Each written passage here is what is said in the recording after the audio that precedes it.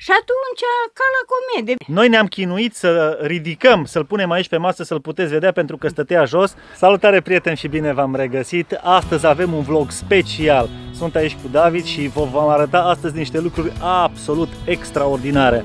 Pentru că suntem deja în luna martie, vă arătăm cel mai mare mărțișor din lume.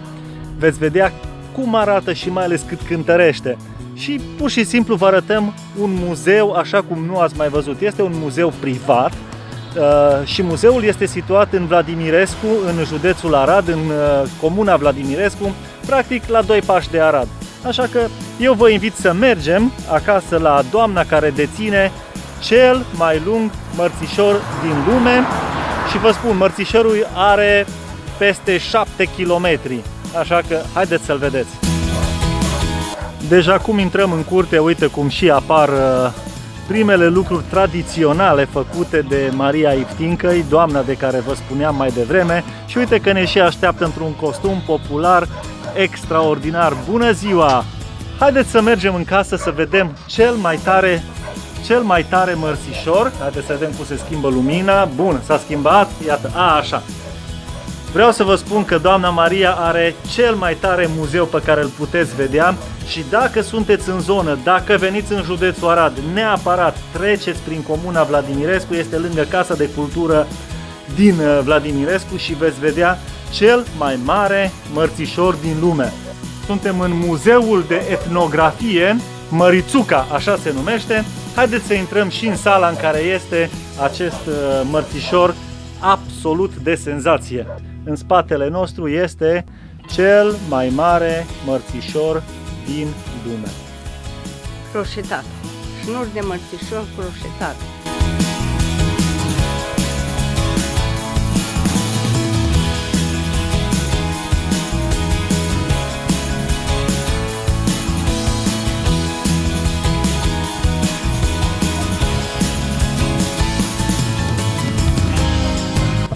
Timp ați muncit să faceți cel mai mare mărțișor croșetat din lume?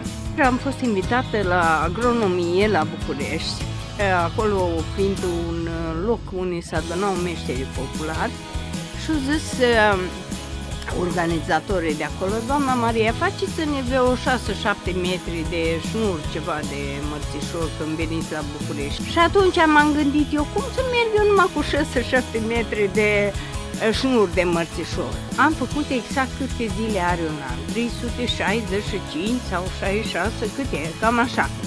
Și atunci, ca la comedie. Și apoi, începând în fiecare an, câte un pic, când am avut timp, tot am mai adăugat. Și acum cât are? Cât ce lungime are? Acum are 7 km jumate, adică 7500 de metri. Cât costă cel mai lung mărțișor din lume? Nu pot să estimez, asta chiar nu pot să estimez, nu mai știu că am investit mulți bani. Câte kilograme are mărțișorul și cine poate să-l poarte?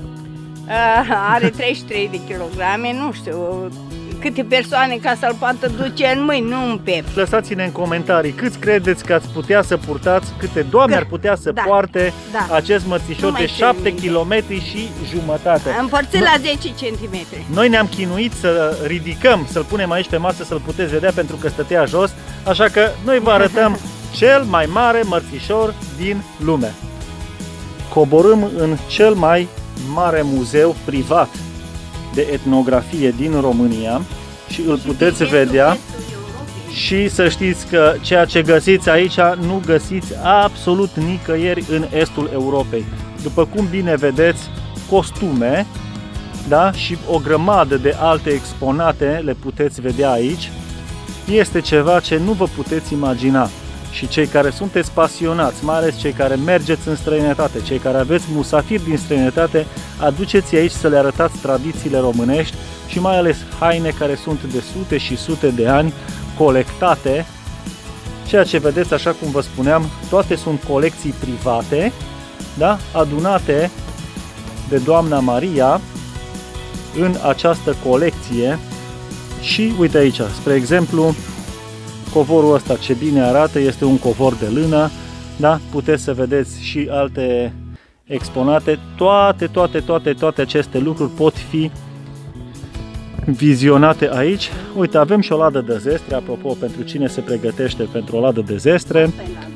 Da, și mergem. Da, doamna Maria ne spune că e lada mică, este una și mai mare acolo în zonă. După cum bine vedeți aici, o grămadă de lucruri pe care le puteți găsi și pe care nu le vedeți în altă parte pentru că nu aveți unde. Așa cum spuneam, este cel mai mare muzeu privat din România și din estul Europei. Tot ce vedeți aici este făcut manual și este făcut de doamna Maria și de toată familia ei. Este colecționat. Dar haideți să vă spun o chestie absolut incredibilă. Să vedeți de unde au fost adunate toate aceste exponate. Ceea ce vedem noi aici, da?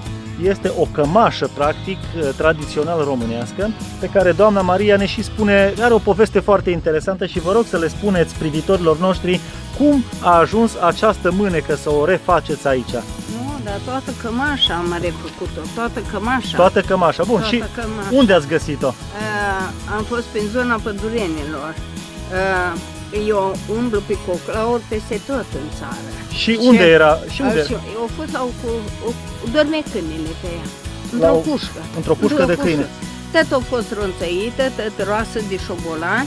Am venit acasă două luni, am recondiționat pe ea, dar nu, nu, nu recunoaște nimeni, nu e greșeala. Printre lucrurile pe care le puteți vedea aici, spre exemplu, mai ales doamnele sau domnii care îndrăgesc goblenul. Haideți să vă arăt o chestiune. Uitați-vă acolo sus. Goblenul care îl vedem aici, da? Mă și îndepărtez puțin să-l vedeți. Este cel de aici de sus, da? Cel care îl vedeți aici are 100 are nici mai mult, nici mai puțin de 110 ani. Și ca să vă dați seama de ce am venit la acest muzeu, ne arată acum doamna Maria, avem aici o icoană, abia dacă se mai vede pe ea. Haideți spuneți-ne cât e de veche de fapt icoana da, asta. Da, de unde am colecționat-o eu, m-a spus că are 500 de ani. Despre doamna Iftincă îi puteți să găsiți linkul în descriere, îl veți vedea acolo atât de pe YouTube cât și de pe Facebook, așa că intrați acolo și veți afla mai multe detalii cum să ajungeți aici, cum să vorbiți cu doamna despre colecțiile pe care le are, mai ales cei care sunteți interesați de așa ceva, Dragi prieteni, sper că ați văzut lucruri interesante aici în uh, acest muzeu, așa că de aici exact de lângă cel mai mare mărțișor din lume, 7 km și jumătate, noi vă spunem la revedere și nu uitați să dați un subscribe și încă o dată vă mulțumim tuturor că v-ați abonat la acest canal și care ați venit alături de noi. Vă mulțumim tuturor pentru susținere și ce să vă spun, ne vedem data viitoare!